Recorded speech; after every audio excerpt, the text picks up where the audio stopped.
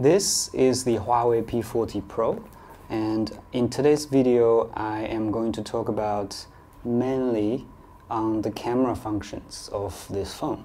Um, so I got this from Huawei two weeks ago. I haven't been able to go to a lot of places because of the lockdown, but I did manage to take it to Sydney Park and uh, I did manage to shoot something around the house as well.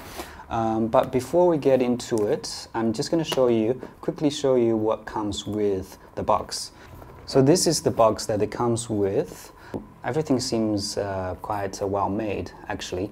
Um, and then the phone, when you open it, and this is this is just a phone um, with the cover on it. Um, everything seems pretty uh, high quality, good build. Um, what you have here is a phone case that comes with it, um, the, uh, the pin, then this is the uh, this is the headphones and the chargers and the uh, and the cables, uh, which is pretty standard. Um, so let's have a look at the phone itself. Um, I did open it already, so this is just me wrapped it back on. Uh, so it looks a kind kind of rough, but the phone itself, it actually looks pretty good. So they sent this blue color to me. I don't know if you can focus on it. And this is what it looks like from the back. So this here is the camera. Uh, it actually is shaped just like the phone itself. Uh, on top of it, it's got three major cameras. They're all powered by Leica. When you open the phone, you get um, a standard process of setting it up, which is pretty straightforward, just like any uh, OS. Uh, I had no problem uh, setting it up. I've already pre-installed um, some of the applications, but you, you can go into its uh, app gallery to download most of the apps that you can find on uh, many Android or iOS system. Let's just go through some of my photos. So this first one that took is uh, this orchid, uh, this uh, lily I did uh, a few a while back. I did a time lapse with my Canon camera, um, but at the same time I did a few shots with this camera. Um, some of them are using its 50 megapixel RAW function, uh, which is pretty amazing to be honest. The details and the megapixels, it looks quite good. Um, you gotta have to give it to Leica and uh, whatever they did to this phone. Um, and then the second thing I did is to test the uh, stability of the video shooting. Um, so I did uh, a little bit of a, uh, a camera movement to uh, kind of see if I could do this uh, dolly turn sort of effect with just a phone, um, which it comes out pretty good. So there's another thing that I, I did uh, test is um, it's a night photo function. The night photo function, I gotta say, it's quite impressive. And uh, I took a photo of my dog Murphy, which uh, uh, you can see here. And he's a black dog.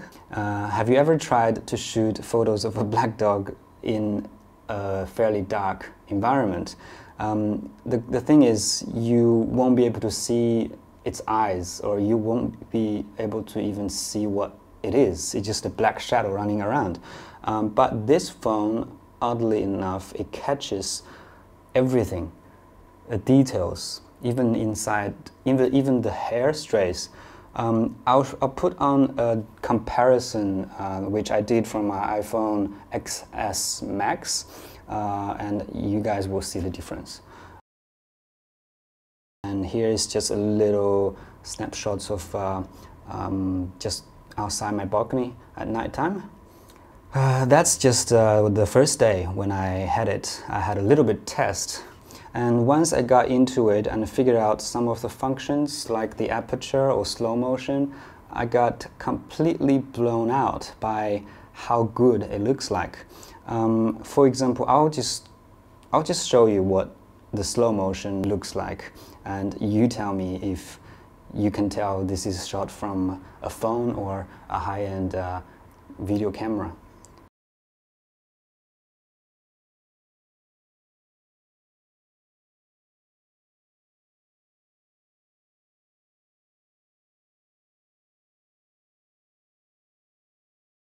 So another thing I want to mention is the aperture mode. I'm no expert on how they engineered this phone, um, but I did hear about um, how they blur out the background. They, they, they blurred the background based on the amount, uh, the time the light travels from that object to the camera.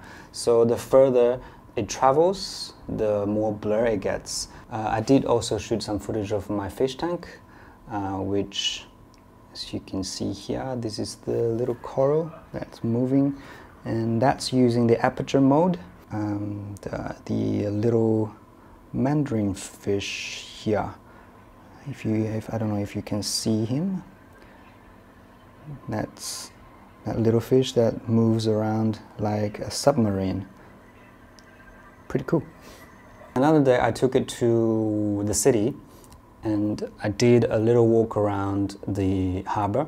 Unfortunately, it was raining, and but luckily the cloud looks pretty good, uh, as you can see here. And this is the photos of the harbor, and uh, some videos as well.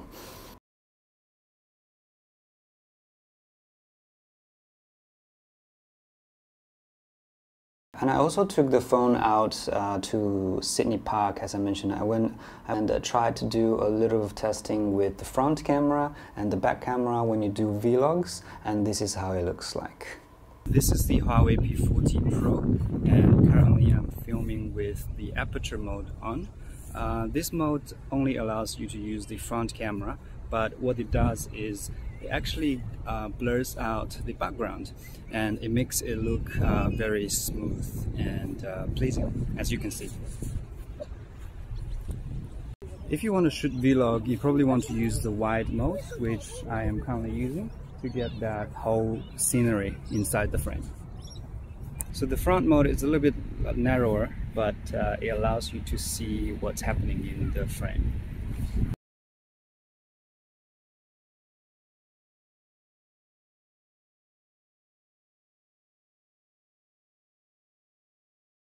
So my thoughts on this phone is I will probably use it for some of my vlog events. Um, instead of carrying my camera out, uh, this is pretty, uh, this is much convenient and uh, and this could actually do what my camera does some of the time, uh, most of the time actually, especially in low light and uh, for some of those background blurriness and those bokeh magic. Um, and in low light, it does wonders. Uh, so I think if you're thinking about recording your daily life but don't want to go through the hassle of finding which camera to use, what lens to buy, what lights to go to, what light to go to, uh, or how heavy it is, this could be perfect for you because based on my experience, I could uh, easily edit a good quality vlog out of it. And if you guys don't believe me, check out my next video.